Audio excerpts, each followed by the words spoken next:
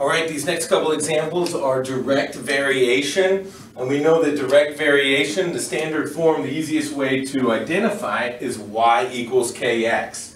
We have x and y and where k is the, the, the coefficient or the constant in front of x. Like it's the, the change. What's the change? The direct change that's going to vary the two, right?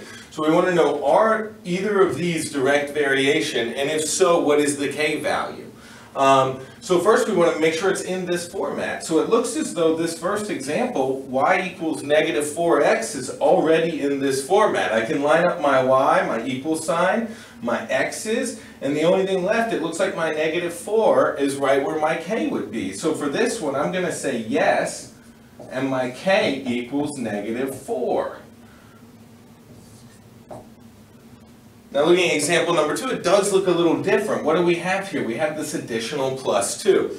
That's going to cause it not to be a direct variation. Something else is going on besides the coefficient, right? Besides what's changing the x value, we're always going to have this additional plus 2. Um, and, and it's kind of, you know, going to not fit into our format of y equals kx, right?